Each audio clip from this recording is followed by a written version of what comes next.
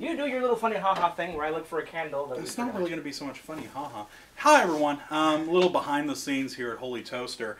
Uh, we decided for the uh, St. Patrick's Day episode, at the spur of the moment, we were going to make a uh, jack o' lantern out of a honeydew. I don't really know what brought this on. Burns just It's went. green inside. Burns just went. This would be funny if it was a jack o' lantern, and then he went 1920s, and then he started ogling the chicks for the dry rubs. Sure, whatever.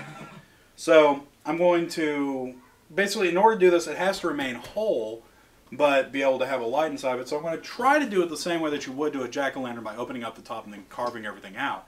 Problem with it is, it's going to take a lot more to carve out because this thing is full instead of just having a little bit of seeds and being mace, uh, not a lot of meat. So uh, let's go and see. It'll be What we, delicious. It'll be delicious. Just, just.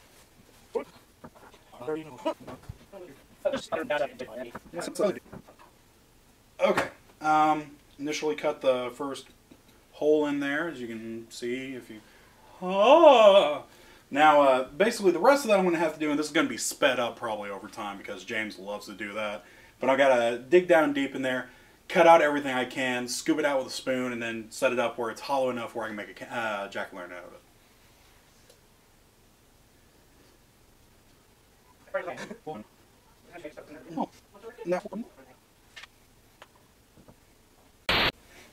basically just like doing a uh, basically just like doing a a pumpkin except we've got more meaty bits that we're gonna have to wash off and eat Delicious. I'm not too. That's why I put a bowl here and a plate, so you could scoop the seedy bits into the bowl and the eaty bits onto a plate. Yep i'm sure that's why you did it He's an animal. away while i'm doing this i'm trying to show the people I wonder if it looks the exact same way on camera the way it does to me. It looks like you're really carving through a skull. it really does look like a shaved human head where the face is just turned towards you. yeah that was awesome That was gross. You're in front of the camera you are wasting these people's precious time you people have time? Why are you watching this shit? Realize we're gonna give like a whole bunch of stuff to to intern tonight, you know. Kato's Yeah. arc, little Kato's arcane shot, funny haha, and this stuff, and you'll just be like, "What the fuck is this shit? This isn't funny." i don't expect everything to be funny that we do I i don't don't expect expect 90% of our stuff to be funny Ba-da-ba, ba-da-ba.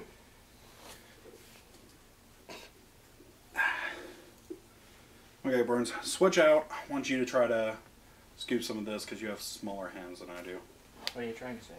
I'm trying to say you'd be better at doing it than me. What are you trying to say? Hello, America. Is this my big break? Yes, it is. Apparently, this is my.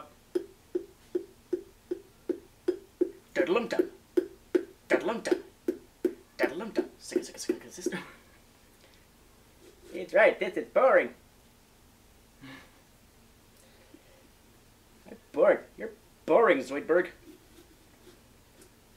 So, to what consistency am I doing this to? Till I can see the, till I can see the whites of his eyes. What am I? Yeah, just try to make it a little bit. Just scoop out what you can. Okie dokie. Scoop out what you can. He's our director. He directs, and we sort of sometimes maybe kind of follow.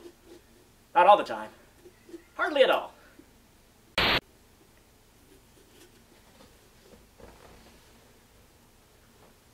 This is sort of boring. I'll come back when we're doing something funny. Okay.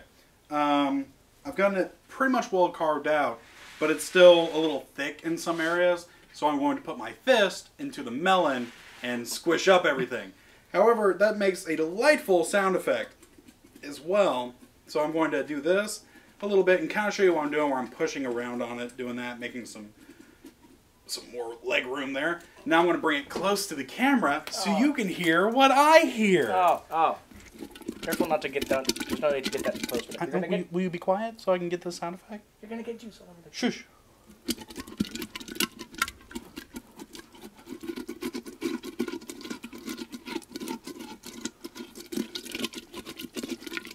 It's like cleaning a toilet.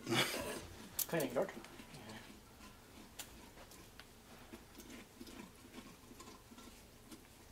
That truly is a horrifying noise. And I'm uh, using my nails and digging in it a little bit, scraping up the sides a little bit more to get some more of the stuff off. I'm taking the bits that he pulled out, removing the seeds, and taking the delicious pulpy bits so we can eat them. Let me pour that in the sink real quick. Welcome to Kato's fucking Elliot. Welcome to Kato's Shut Up You're Fucking Eating It. Shut up, you're fucking eating it. I don't want to eat it, Mr. Kato. Shut up, you're fucking eating it. Vegeta. Okay. Ah! Alrighty, um, a little bit more scraping and this thing should be perfect. So uh, we'll just skip ahead of that bit. Okay. We're trying to figure out a candle option right now because we couldn't find our candle. So uh, we have this bad boy, which looks really cool and has flickering and light color changing and all that. And I'm wondering Wait, if it's removable. Okay. Now to carve our jack-o'-lantern. I'm going to go with the traditional smiley face, um, just the triangle eyes and all that for it. Um, because A, I don't want to do anything too complicated and have it fuck up, and, or B, um, I don't know, Kato just seems like a traditional kind of guy. It's going to be a traditional, put the Dr. Insano goggles on it. no, traditional. This glass is filthy. Why is it in the bar? Kato's trying to poison us. I. Somebody. See? Very nice. Well done, Fat Man. Now to trim it out a little bit so we get as much light as possible in there. See, one of the biggest things that you can always do whenever you have your kids carve their first jack-o'-lantern is to make sure to cut around wherever the light's going to be shining in and open up the holes more so that more light will get in. Actually, it's a small behind the scenes. I've actually never made a jack o' lantern What? Really? Because I, I it was always too icky to me. I never liked reaching my hand into the guts. We're going to fix that this, aren't we? I take that back. I think I may have made one once in like the first grade with the.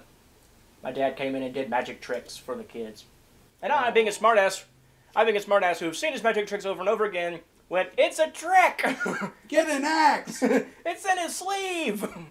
That's right. I heckled my dad.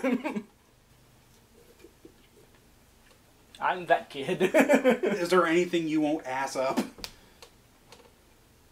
No. Funeral. I will rarely ass up a funeral. Funeral and the airport are the two places where you will see me as solemn and quiet as fuck. Unless I've been previously requested before a funeral by the deceased. Preferably before he dies. Because afterwards it's kind of creepy to fuck up at his at his at his funeral. like for you, I've been told on many occasions I need to for you and for James to go up to the, the casket, lean down. I'm still alive! Someone get me out of here! I can't breathe! This hurts! My god, this man is still alive!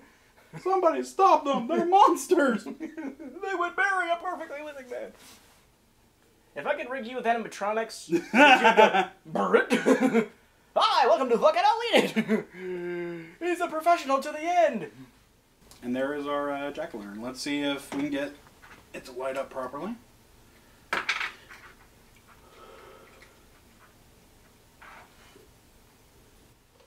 Yes! Wait, wait. Nice! Here, let's let's go ahead and I think if we put him, I think if we put turn him. off those lights real quick. Let's see if we can just see really good from there. Oh, now that looks cool. Now that is how you do a proper Kato's Bar St. Patty's Day honeydew jack o' lantern. honeydew a lantern. yeah, whatever. If you're really horny, honey, do a lantern any day of the week. Uh, All right, well, uh, that's behind the scenes with Holy Toaster and our new Honeydew o' Lantern. Uh, thank you very much, everybody. woo! Yeah. Oh, God, now they can see me. That just The woman appeal is gone now. I should have turned on the lights. You should have been naked.